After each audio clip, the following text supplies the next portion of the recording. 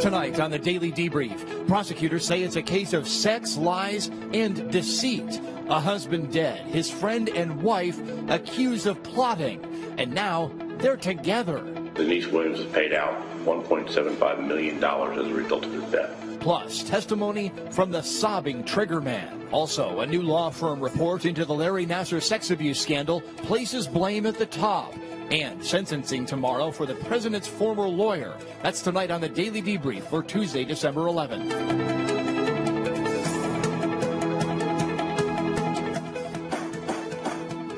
Good evening, everybody. Opening statements today for a woman on trial over the suspicious disappearance of her husband 18 years ago. We are calling it the so-called love triangle murder trial. Denise Williams of Florida faces charges for allegedly planning to murder her husband, Mike Williams.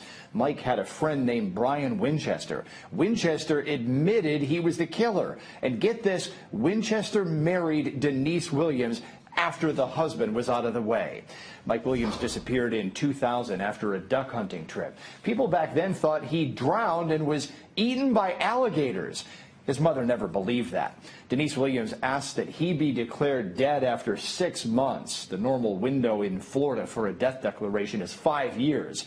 She also collected her husband's $2 million insurance policy. The prosecution began its opening statements with the search for the body of Mike Williams. Florida Wildlife Commission are contacted as well as other family members and they start trying to figure out where he is. They find his Bronco as well as a trailer. The initial thought, of course, is that he uh, possibly was running the boat out to go to his duck hunting area. He hit a stump, possibly was thrown overboard, boat went off, um, and they were hopeful to find him, maybe on this island back in here or something along those lines and move on. It's a very methodical search.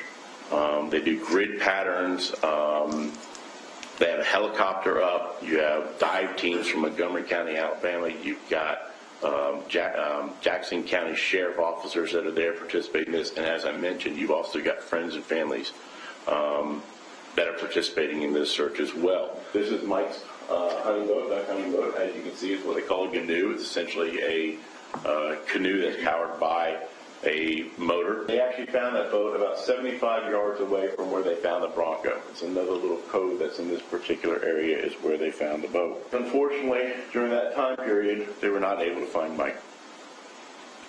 Mr. Williams is still missing. And reality sets in. At this point, it's become a recovery operation. They bring out search dogs.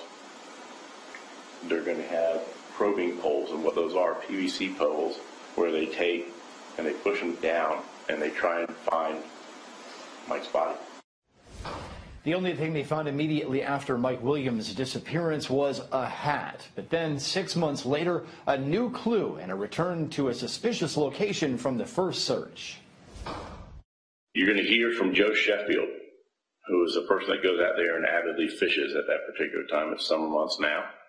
And he's out there fishing, and he comes across a set of waders and he's going to describe to you what those waders look like. They send diver down to that particular location, and again, they are back at that marker, that hole, that 12 foot hole where they felt the initial push. And they mark with the bamboo sticks, ultimately the PVC pipe. And what you're going to hear is not only were the waders found, but there was a jacket found, a flashlight, and a hunting license. That hunting license belonged to Mike Williams. It's a flashlight that's found flashlight was one of those mag lights. Um, was actually still functional. Mike still has not been recovered, and the case goes cold. At this point, it is marked as a missing persons. There's been no evidence of any foul play in any way, shape, or form. It's simply a duck hunting boat accident. Body was never found. There were even theories of alligators possibly had eaten him. And there's that reference to alligators, folks. Prosecutors said it all became suspicious when the friend married the victim's wife. Authorities tried to obtain phone records, but the case went cold. Even though De Denise Williams cashed in on the victim's $1.75 million insurance policies. Here is how the case unraveled. In August of 2016, Brian Winchester, in the early morning hours, frustrated with the separation, frustrated with where the marriage is going, frustrated with Denise. Crawls in the back of her car at her home. He does so with a firearm. He orders her to drive somewhere. Denise, you're going to hear, talks him out of going to that particular area and ends up going to a CVS pharmacy on the north side of town instead. Somehow she's able to do that. And you're going to hear they have a long conversation about multiple things, and you're going to hear from Brian Winchester, and he's going to tell you what they talked about. And what you're going to hear is they separate at that point, and Denise talks him into letting her go. And he does. And they're going to talk later on that evening is the plan. The agreement is she's not going to go to law enforcement. But she does. You're actually going to hear that David McCraney, who is the brother-in-law of Denise um, Williams now, is a law enforcement officer at Tallahassee Police Department. And he gets on the phone with her and talks her through what to do and takes her all the way to Leon County Sheriff's Department. So Denise Williams talks. The lover also confesses that the affair had gone on for years before the husband's death. The lover explained the crime and showed police where the body was hidden. The defense says there's a big problem, though, with the state's case. Let me begin by saying that there is no dispute about the fact that Mike Williams was murdered. Um, the evidence is going to show beyond any doubt that he was shot in the face and killed by Brian Winchester, a man he thought was his friend. Brian Winchester is not on trial. In fact, he's never even been charged with the murder. He's going to testify here as a witness. And there's an important part of that that you haven't heard yet that I want that will be in evidence, and I want to tell you about it, and that's the fact that he is going to be testifying under a grant of immunity. And what that means in this particular case, the kind of immunity that was given to him, is that he will be able to say, he will be able to testify as he pleases about this without any fear that the state will be able to use that testimony against him. Now, the, the, immunity agreement is such that the state can't even use leads or hints or clues that were developed from that testimony. So he has not been charged. Uh, and I think it's fair, uh, fair from the evidence to conclude that it's not likely he will ever be charged for this murder. But he's here as a witness and he's going to testify. The issue you're going to have to decide is whether to believe him. Tonight on the debrief, attorney Matthew Mangino is with us from Pittsburgh. Vincent Hill is a law enforcement expert and host here on the Law and Crime Network. He's going to join us in a second. But Matt, let me ask you this one. This is a common defense tactic here. Blame the other guy. But does it work for the woman who didn't pull the trigger? Well, of course, you know, the defense is going to try to force uh, the jury to understand that that he has some incentive here uh, to testify. He, uh, without question, murdered Mike Williams. And, you know, he has this agreement with the government uh, that's going to prevent him from being charged. And he got that agreement with the government because he would agree to implicate Denise Williams. And that's what's the most important factor in this case for the defense. He has the reason for doing what he's doing. Exactly. So it does work for the woman who didn't pull the trigger because she didn't pull the trigger. The other guy did. He's going to be on the stand in just a second here on the debrief. Vincent, I got to ask you about the police work here. This seems like a difficult case for police work because this goes all the way back to the year 2000, and they were saying not a lot of text messages. Phone records are gone by that point. Right. Not only that, Aaron, when uh, investigators were initially investigating this, it was a simple missing person report. So now, seven years later, when they start looking at this as a possible murder, you have to go back seven years and try to collect evidence, alibis, things of that nature. It makes it very difficult because no crime scene was actually preserved way back in December of 2000. Yeah, so a big question about uh, the, the uh, effectiveness ultimately of those uh, confessions. Without the confessions, they might not have been able to build this case. That's exactly right. But the defense did get that uh, Florida Department of Law Enforcement agent to admit that he had no tangible or physical evidence against his client, Denise Williams. Matt, I want to throw this at you quick, quickly here. One of the lovers' versions of this case is that Denise Williams wanted to leave her husband, but she wouldn't divorce him for religious reasons, so murdering him is somehow okay religiously. Does this theory make any sense, or does it make the lover look like a liar? No, it's it's bizarre uh, to, to, to suggest that you have some uh, you know moral uh, issue with regard to divorce, but not with murder. I mean, this case, uh, from the prosecution standpoint, is about 1.75 million. That's what you wanted. You don't get 1.75 million with a divorce, but you get it with a murder. You get it with the death of your husband. Matt, we're going to check back in with you and, of course, with Vincent in a couple of minutes here. Let's go to the first several witnesses for the state. They testified about finding the victim's belongings. He came up and handed me a camouflage hunting jacket. Uh, the sleeve was one sleeve was turned inside out like somebody was trying to get it off. Jackson. Can you also continue to describe the condition of the hunting jacket? Uh, it was in, surprisingly, it was in great shape. You I, I, I, put my hand in the uh, in the pocket and pulled out his hunting license, and uh, it was it, it, said Mike Williams on it. It was very uh, very clear. The next witness talked about finding the victim's waders, those waterproof pants that the victim wore while duck hunting. You can. The waders were folded over and pulled down to the waist, like wrong side outwards up to that point. Up to the waist? Up to the waist.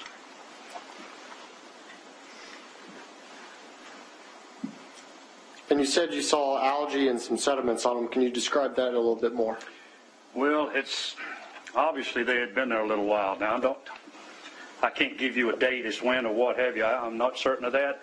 I know they've been there long enough. There was settlement on them, and uh, uh, growth, more or less, and the heat obviously had caused the air to form underneath the pocket where they were folded down enough to rise these up or make them float up.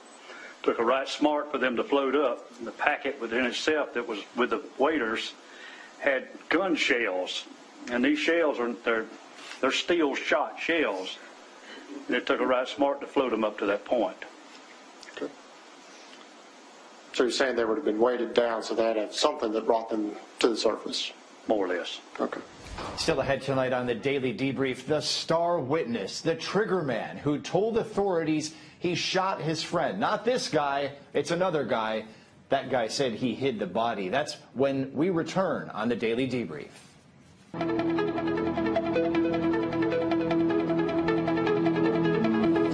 Welcome back, everybody. A scathing report early this week blames officials with the U.S. Olympic Committee for failing to stop Larry Nassar. Nassar received federal and state sentences which will effectively keep him in prison for life after he admitted to sexually abusing female athletes. A report prepared by the law firm Ropes and Gray this week indicated that two high-ranking officials with the U.S. Olympic Committee failed to investigate Nassar or report him to authorities after they learned of the accusations against him. Sentencing tomorrow for the former personal attorney to President Donald Trump. Michael Cohen pleaded guilty to financial and campaign charges and admitted his crimes were attempts to influence the election. He could face more than five years in prison. Law and Crime's Ronn Blitzer, himself a former prosecutor, will be at the sentencing hearing. He'll be live on the Law and Crime Network and on the Daily Debrief with analysis tomorrow. Now to Anthony Velez with other crimes making headlines. Here are today's top crime stories trending on lawandcrime.com and across the country. A man in Nebraska who pleaded guilty to manslaughter for the killing of his wife 20 years ago reportedly confessed to the fatal shooting of his parents and his niece last year. 46 year old John Dalton Jr. was arrested in 2017 for the shooting of his parents, 70 year old John Dalton Sr., and 65 year old Jean Dalton, as well as his niece, 18 year old Leona Dalton Phillip, in their Omaha home. Dalton was paroled in 2010 after spending 11 years in prison for the fatal shooting of his wife, Shannon, in September 1998. Dalton pleaded guilty to three counts of first degree murder and four weapons charges and was sentenced to three life terms plus up to 230 years in prison. The man accused of abducting and killing missing North Carolina teen Hania Noelia Aguilar is now charged with an unsolved 2016 rape after his DNA linked him to the crime. 34-year-old Michael Ray McLellan is accused of kidnapping, raping, and murdering Aguilar, who disappeared on November 5th when she was reportedly forced into an SUV by a suspect outside her home in Lumberton. Aguilar's body was discovered 10 miles south of her home on November 27th. Authorities were able to link McLellan's DNA to the unsolved rape case after receiving results from the FBI laboratory at Quantico. McLellan now faces multiple felony charges. Authorities in Los Angeles reportedly found a trove of nude images of women in a storage unit of a University of California gynecologist accused of sexually abusing more than 200 women over a three decade career. 71 year old Dr. George Tyndall is accused of groping, performing improper exams, and taking photos of naked patients. Police allege the abuse occurred from 1990 to 2016 and say Tyndall reportedly treated over 10,000 women during that time period. Authorities reportedly raided a self-storage unit rented by Tyndall and found a trove of homemade pornography and photos of nude women in what appeared to be a medical exam room. Tyndall maintains his innocence and no charges have been filed yet. God! God! God! A suspect in a double murder was denied bond in a Florida courtroom after screaming from a wheelchair during his bond hearing. 19-year-old Damon Kemp is accused of the fatal shooting of 19-year-old Trey Ingraham and 19-year-old Jordan Patton at their home in Daytona Beach.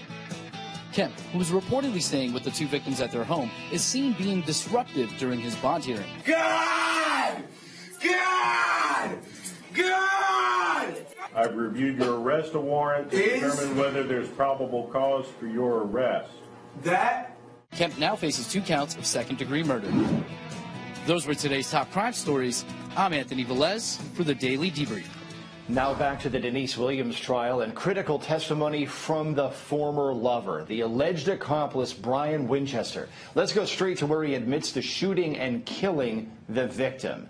This witness started by pushing the victim into the lake. Let's listen to his lengthy description in its entirety.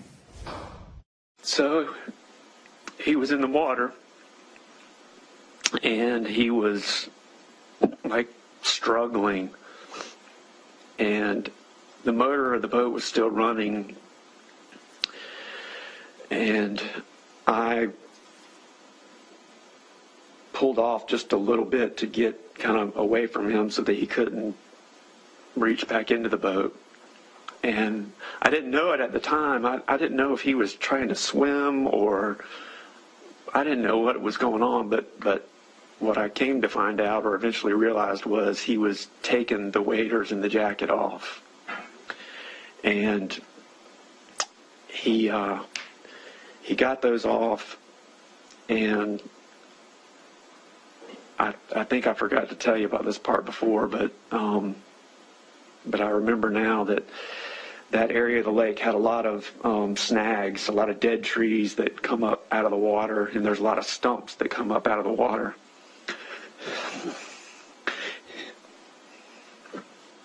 And he swam over to one of those stumps and held on to it. And he was panicking, and I was panicking, and none of this was like going how I thought it was going to go. and I didn't I didn't know what to do. But um he was he started to yell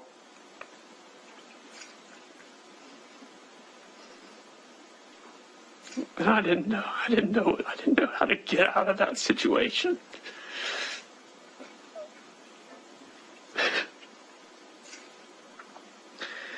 And so I had my gun in the boat.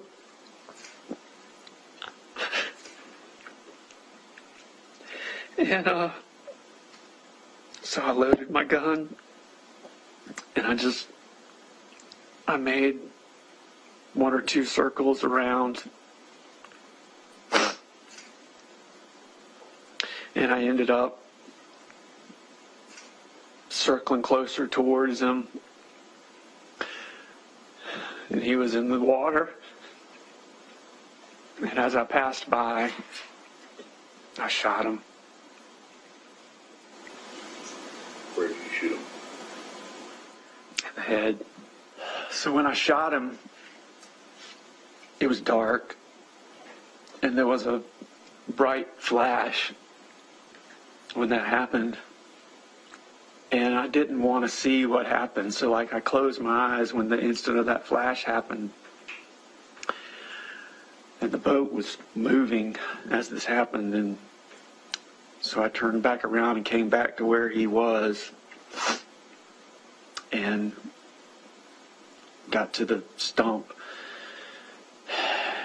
and I knew I couldn't I couldn't leave him there being shot so I was going to have to do something to cover this up Back to the panel tonight. Vincent Hill, this is incredible testimony. Can you imagine being the officer who took the confession? Can you imagine being the officer he led to the location of the body? Well, he gave them everything that they needed, Aaron, and he gave very detailed uh, description of what happened. So we now know how the waders got in the water, the jacket, everything that the investigator said. We now know he did it. He said that Mike took those off because he was trying to swim. It's very difficult to swim in that with that uh, stuff on. So then he drives around on the boat, then he shoots him in the head. So investigators got everything they needed based on this confession and based on where he said the body was. Now, the problem is, does that actually tie to Denise Williams and her involvement in this because she was not there?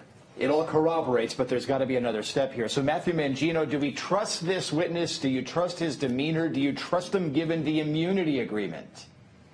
Well, he really is. Uh, uh, his demeanor is very cold, very matter of fact. I mean, he's talking about, you know, shooting his best friend in the head, uh, who he uh, attempted to drown by pushing him overboard. Um, you know, I, I, think he, you know, he certainly doesn't endear himself uh, to the jury. He's a, a calculated, uh, deliberative uh, killer. Mm-hmm. Uh, and now he has to tie in Denise Williams into what his act was in, in, killing Mike Williams. Matthew Vincent, appreciate you joining us tonight on the debrief. We are out of time. A reminder, folks, our coverage of the cross examination of that key witness, Brian Winchester, is going to pick up at 9 a.m. That's going to be here on the Law and Crime Network. You will not want to miss that cross examination. The testimony critical. The cross examination promises to be biting. How are defense attorneys going to isolate their client from Brian? Brian Winchester, the man you just heard admit to pulling the trigger. Our live coverage kicks off at 9. I'll see you back here on the debrief from 5 to 5.30. Have a good evening.